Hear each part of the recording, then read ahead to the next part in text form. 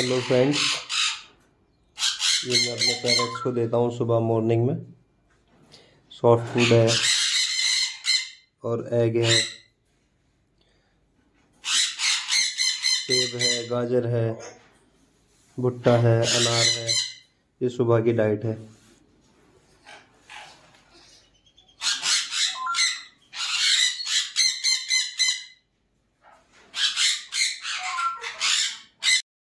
ये डाइट मैंने रेडी कर दी है, पैरट्स के लिए अपने। आप देख सकते हो।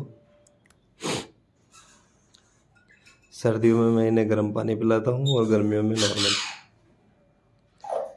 अभी आप देखोगे कि ये कितने शौक से इस डाइट को खाते हैं। आप देख सकते हैं कितना शौक से खाता है ये। मेरा अफ्रीकन ग्रे का मेल है। बहुत ही प्यारा है।